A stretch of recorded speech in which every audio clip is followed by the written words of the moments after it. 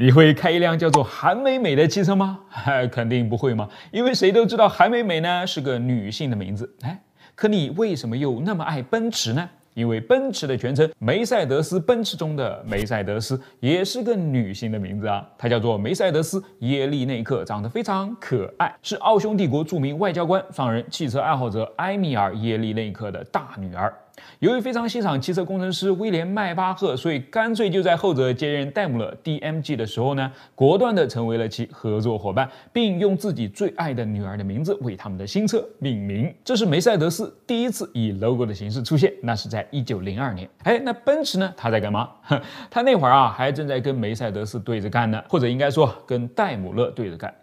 众所周知，两位汽车的重要发明人卡尔·本茨和哥特利布·戴姆勒原本还是同事，两者几乎在同一时间呢，都把自己捣鼓出来的发动机装上轮子之后变成了汽车。但本茨嘛，快人一步拿下了专利，从此以后，两人以及各自分别创立的公司呢，就不对付了起来，开始一路竞争，一路证明自己才是造车的高手啊！一看对面的戴姆勒竟然注册了一个女兮兮的商标，本茨乐了，心想：哎，看我给你整个够直男的。于是也在一九零三他也把自己的商标注册下来了，用黑色齿圈包围的 “Original Benz” 纯正的本次这几个字样，用隆重的技术色彩来强调，哎，我在发动机和车辆制造方面才是专业的嘛。所以你要是穿越回一百多年前呢，你会更喜欢谁的标志呢？好了，继续往下走啊，到了一九零九年，戴姆勒准备换标了。据说呢，是他的两个儿子保罗和阿道夫回忆起一八七二年时，父亲寄给母亲的一张明信片上，用一颗三尖星的符号标示出了他们在德国的房子的位置，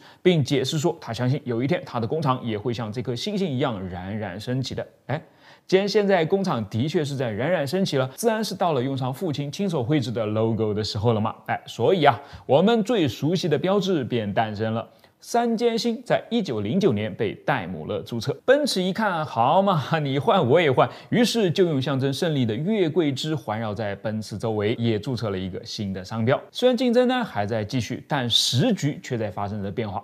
德国的经济随着一战跌入谷底，战后又受到严格的限制，再这样争下去，谁的日子都不好过啊！哎，反倒是摒弃前嫌，握手言和，兴许还能带来更大的价值，实现彼此都很憧憬的那个美好未来了。哎，这就终于迎来了现在的梅赛德斯奔驰了。一九二六年，两家公司 DMG Benz and CIE 决定合并。合并之后的标志呢，保留了 DMG 的三尖星和奔驰的月桂花环，成为这个样子。哎，它几乎呢就原封不动的用到了现在。当然，现在啊，对奔驰三尖星的含义也有各种不同的解释。最广泛流传的是它的每一个尖各象征一样统治地球的自然力量：大地、海洋和天空。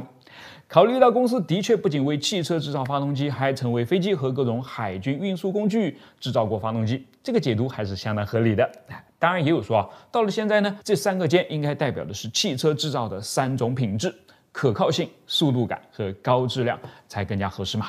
所以你看看啊，现在的奔驰是应该继续给自己加尖呢，还是砍尖呢？哈，留下你的观点吧。